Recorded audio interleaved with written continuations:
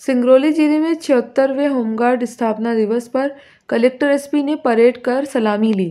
Singrauli collector Arun Kumar Parmar, police अधीक्षक वीरेंद्र कुमार सिंह ने parade कर सलामी ली। आपदा प्रबंधन उपकरण बेड़न, शासकीय उत्कृष्ट हायर सेकेंडरी विद्यालय परिसर में आज छिहत्तरवें होमगार्ड स्थापना दिवस पर शहर के गणमान्य नागरिक व आदर्श वार्ड पार्षद सीमा जायसवाल की मौजूदगी में पूरे कार्यक्रम के कमांडर प्लाटून प्रभारी योगेंद्र बहादुर सिंह की अगुवाई में होमगार्ड प्लाटून एक, राम सिंह, होमगार्ड प्लाटून दो, विभा शर्मा, शासकीय उत्कृष्ट विद्यालय, एनसीसी कमांडर यूसुफ खान के द्वारा परेड की सलामी दी गई और वही सेंट जोसेफ स्कूल बेड़न के छात्र छात्राओं द्वारा बैंड पार्टी के धुन पर परेड किया गया।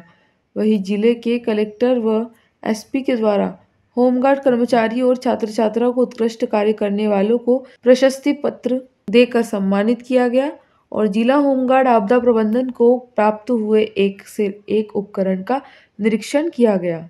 चित्रंगी से ओंकार द्विवेदी की रिपोर्ट।